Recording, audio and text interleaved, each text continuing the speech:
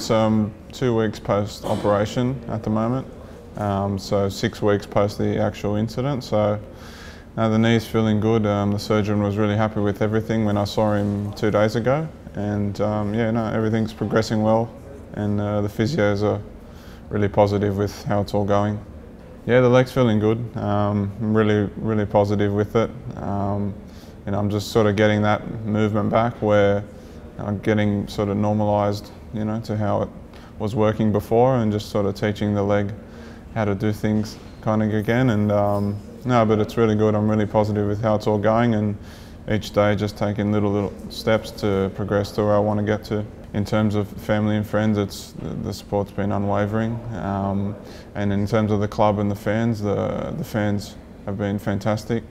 Um, as, as, soon as I did it, um, I was getting messages from the fans, and, and, and that support really means a lot. And and from the bottom of my heart, I, I really say thank you to them because uh, that support goes a long way in, in the process of, of getting better.